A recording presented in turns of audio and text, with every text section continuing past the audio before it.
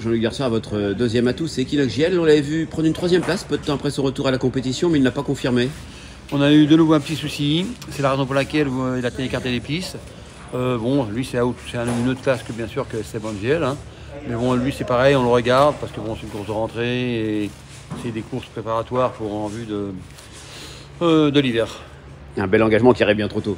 Oui, voilà, exactement. Un bel engagement qui arrive bien trop tôt, mais encore, lui, c'est pareil, il est stationné. Euh, dans le secteur là-bas. Donc c'est des courses de rentrée sans trop de frais. Hein.